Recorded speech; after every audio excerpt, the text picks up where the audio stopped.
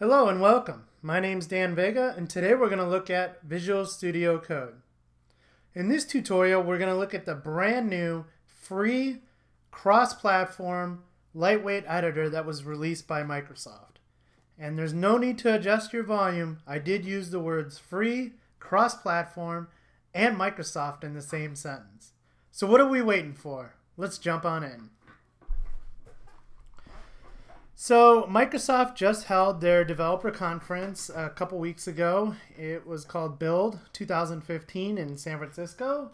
And out of that came one of their big announcements, which was to release um, Visual Studio Code, which is, as I said before, a free cross-platform, meaning it will run on Microsoft Windows and Linux, lightweight editor.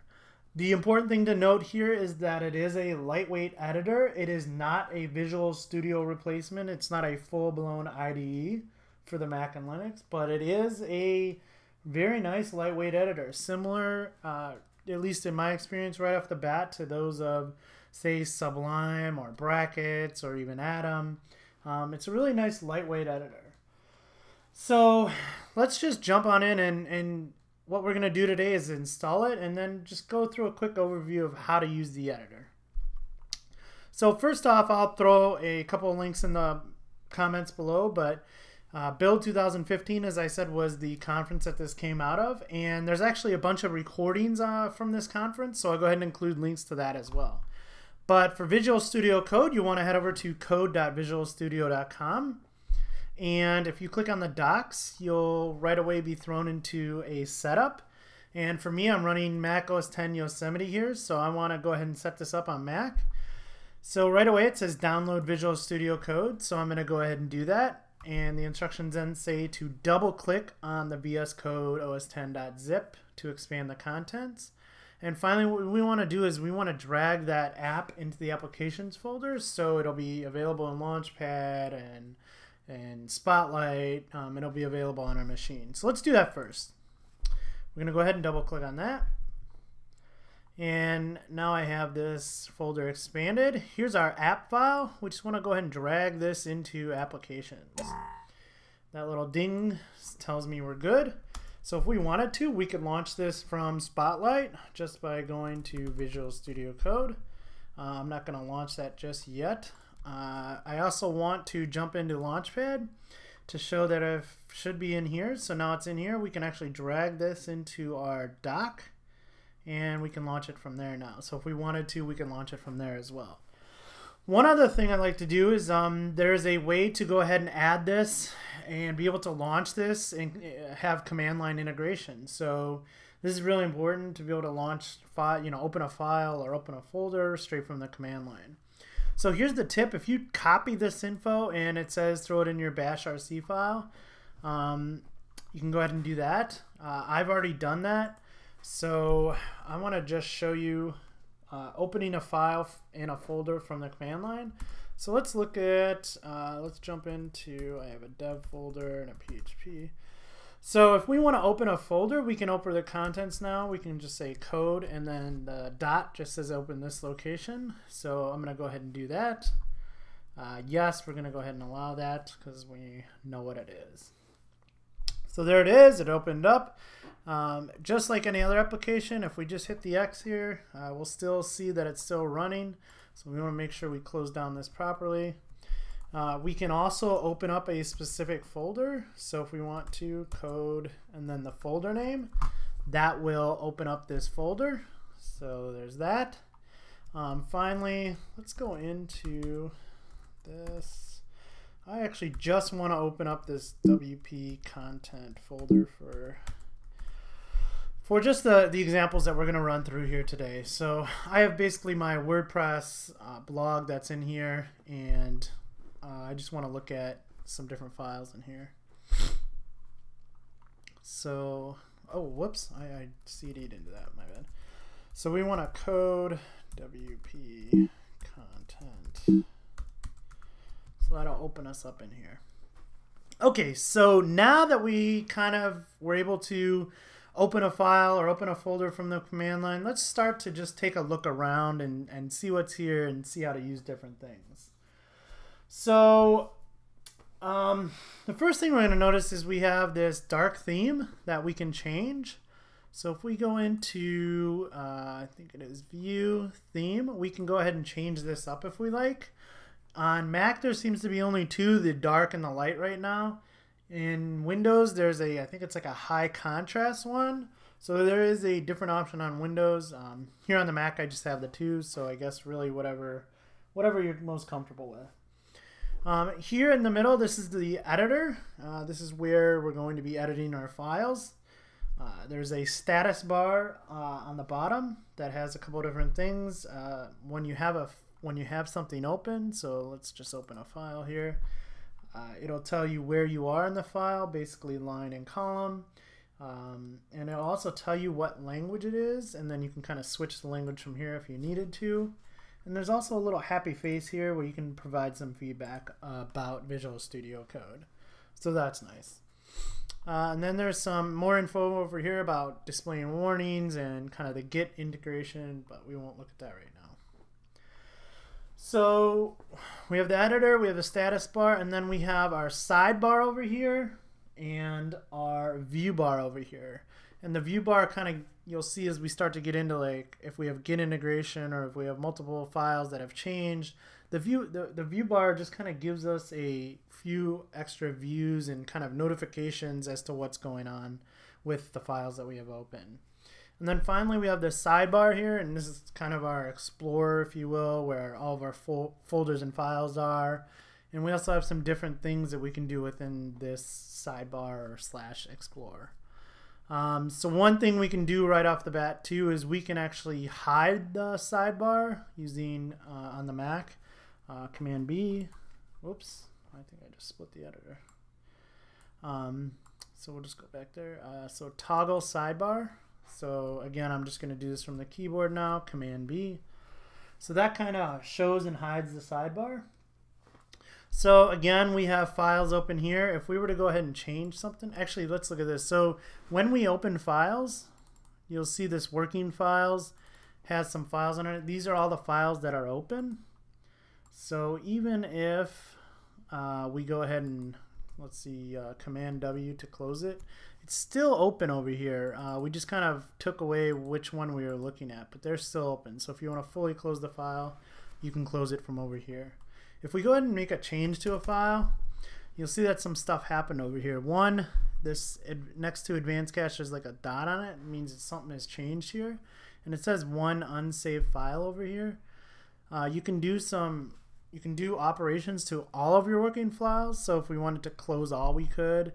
If you wanted to save all, we could. I'm to go ahead and close all and not save. So those are the working files. It kind of shows you everything that's open. So let's jump into our theme here. I think we have some in header. So that's really um, opening a file. Again, we looked at opening a file from the command line as you would expect. You can open from here. You can open some recent files. Uh, you can open a folder. Um, that's just pretty standard stuff. Now what we can do too is we can also split this. So if we have two files that we wanted to work on at the same time, we can go ahead and hit this icon and now we have header.php on this side and that side. So if we click on this side, this is the side that I'm on, maybe I want to look at what footer.php has. So now on this side I have my header, on this side I have my footer.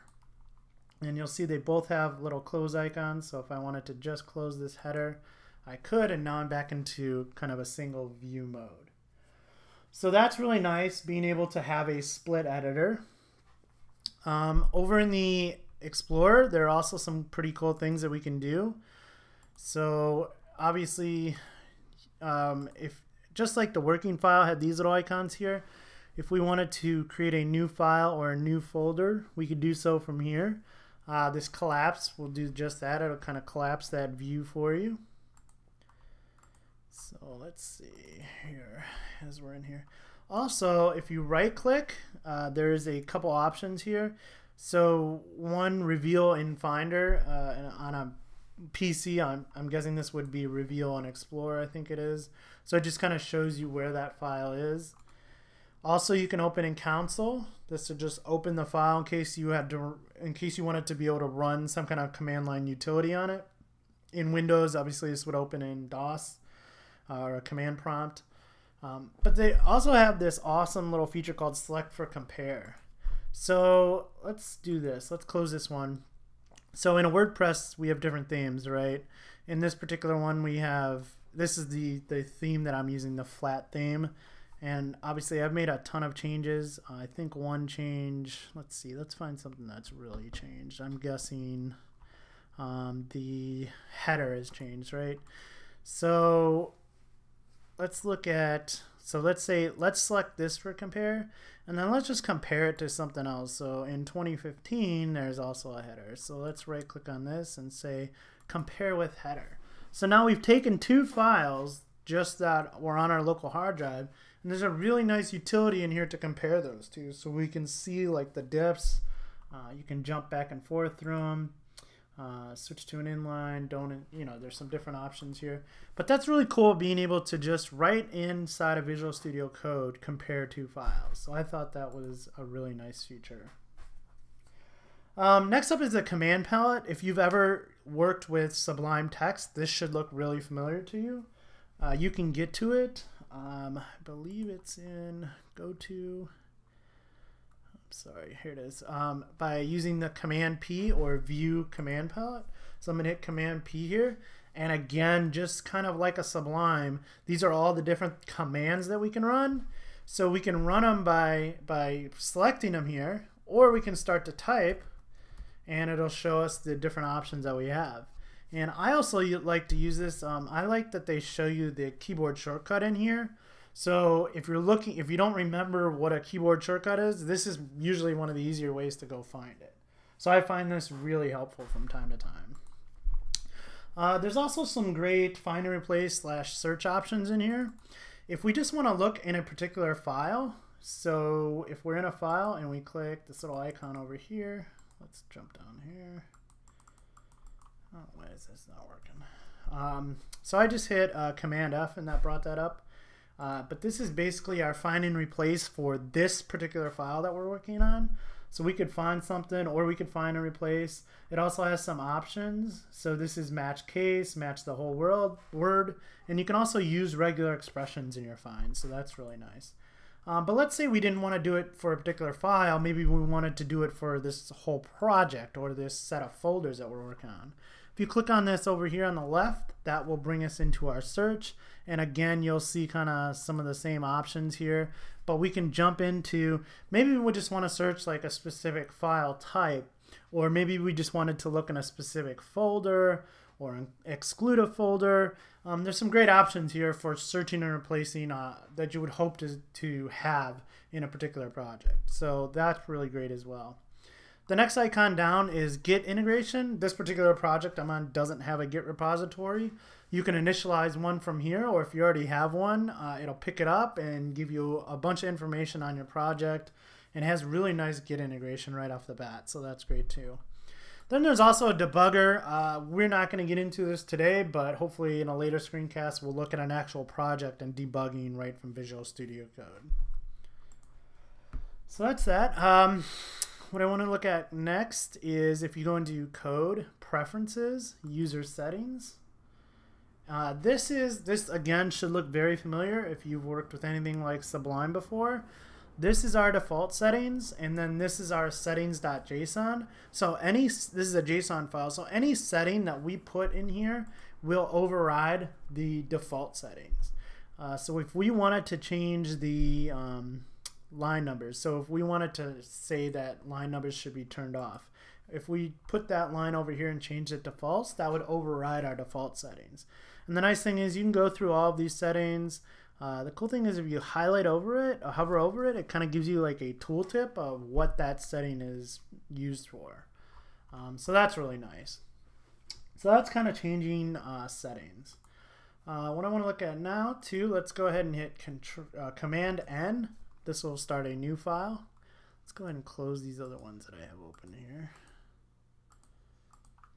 And let's see, there we go.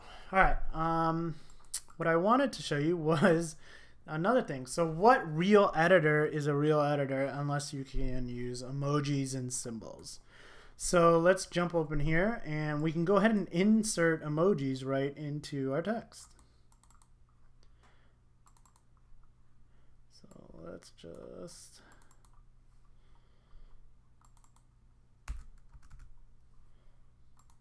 hmm. All right, I don't know why that's not going in. Let's try this one more time. There we go. Sorry about that. Anyways, just a cool little feature I thought of the, the editor itself. You can insert a whole bunch of different emojis and symbols. Um, I think that's all I really wanted to get to. Uh, there's go to symbol, go to definition, go to line. You know, these are pretty much basic things that you would expect from an editor. Uh, again, I this isn't a full blown IDE, but if you if you get into um, any type of, of .NET development or JavaScript development in Node, it has some really great IntelliSense support. As far as other languages go, I think they ha- there's a document online that kind of shows you, but they have like a different layer of support. So they have a huge list of languages that they will support, meaning you get some kind of basic support, whether it be color coding, syntax highlighting, that kind of stuff.